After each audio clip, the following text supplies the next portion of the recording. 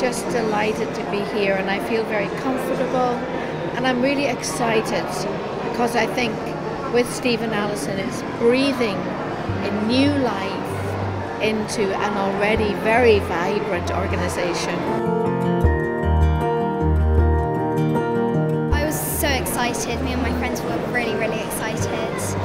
And we just loved singing and it was really fun rehearsing all the words absolutely wonderful. Everybody's been incredibly welcoming, and the girls have been really excited. And I thought they looked tremendous up there, so I was really delighted with them all, and they sang really beautifully. So I'm really pleased.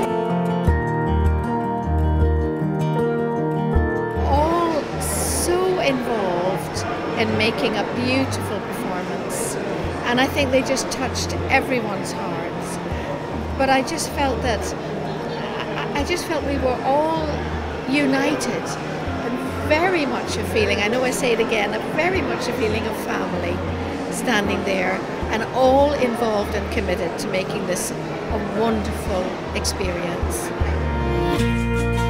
I love learning all the words to this. I'm head of the school and I'm also very involved with, well, all of the departments, but in particular music because I play a bodhrán, And so the opportunity to play with Dana was completely fantastic.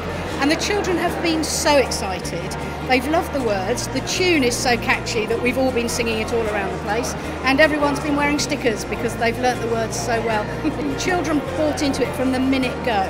They heard the song and they absolutely loved it. And they've been thrilled this morning. It's been a wonderful experience for all of us.